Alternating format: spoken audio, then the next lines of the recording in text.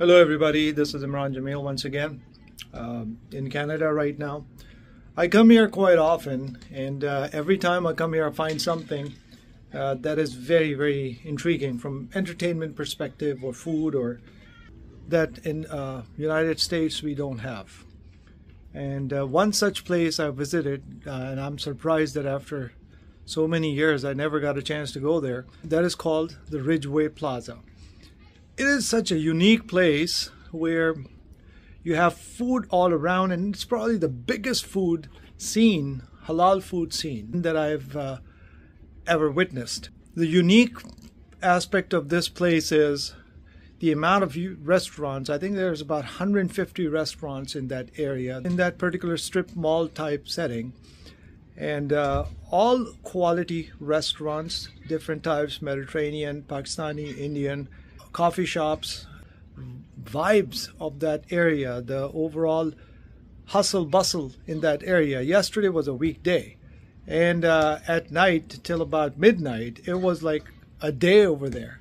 So I don't know how people do that. I'm gonna go there today again. So this is the Ridgeway Plaza that started way back. I didn't realize and I didn't turn on the camera on time, but now this is the whole complex and actually several complexes, just restaurants, nothing else. And it's not just the restaurants, the quality, quality, variety, and um, the hustle bustle over there is just unbelievable. And uh, we came here at a time where not many people are around, just because we don't want to be stuck in rush.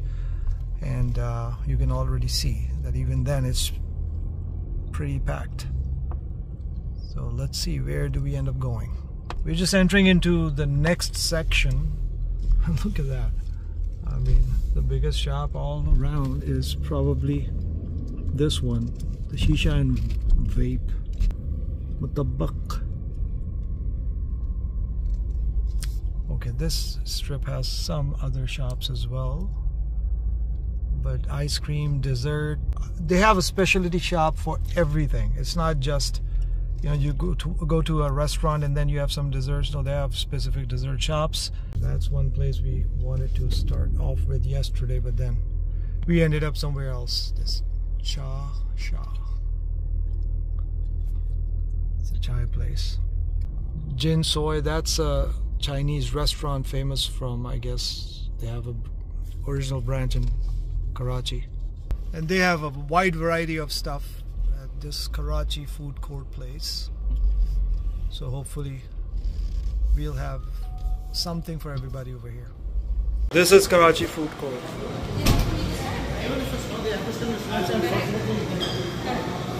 Now we're gonna order food and eat. So this is what we ordered. This is tandoori paratha. This is actually charga, Karachi charga. And uh, these are some of the kebab rolls.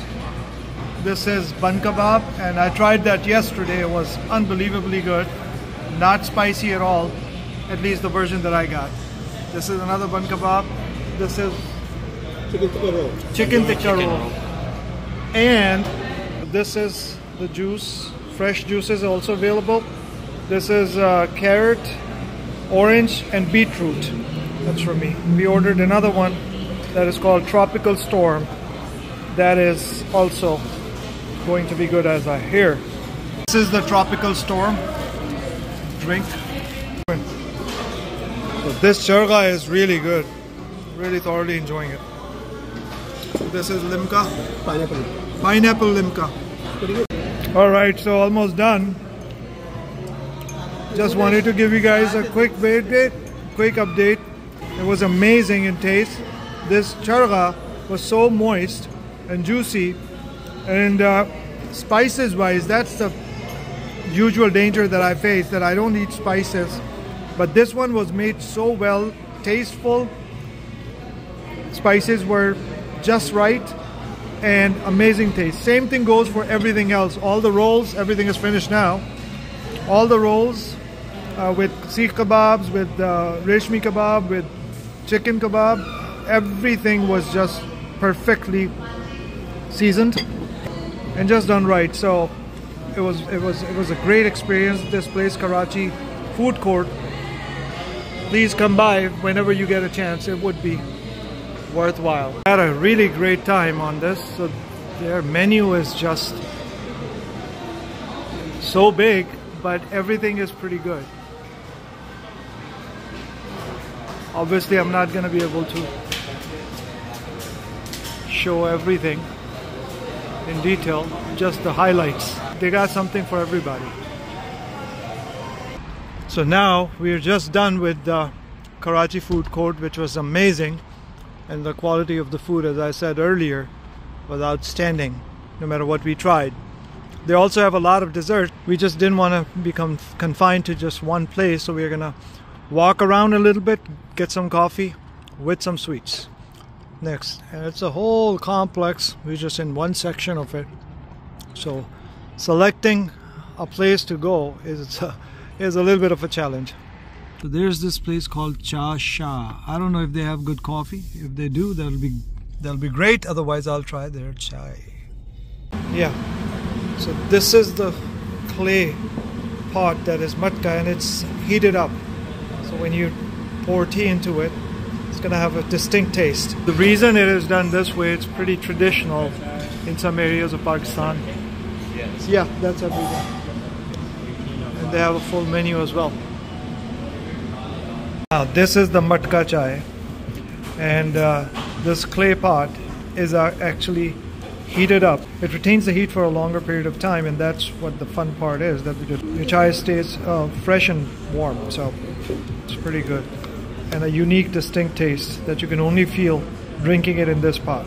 We are heading out of the area because now the public's starting to come in and it's going to be pretty tight. So now we are already out of the area but just wanted to um, conclude the video.